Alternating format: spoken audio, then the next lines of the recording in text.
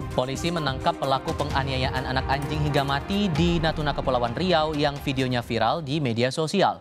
Dari hasil penyelidikan polisi, video anak anjing yang dibanting berulang kali oleh pelaku terjadi di depan sebuah rumah ibadah di Ranai Darat Natuna April lalu.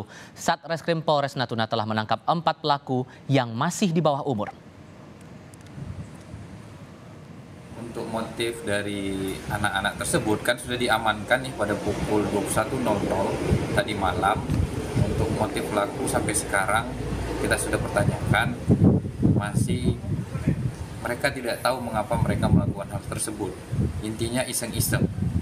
Dan yang memviralkan pun bukan mereka gitu. Mereka hanya mengirimkan ke temannya saja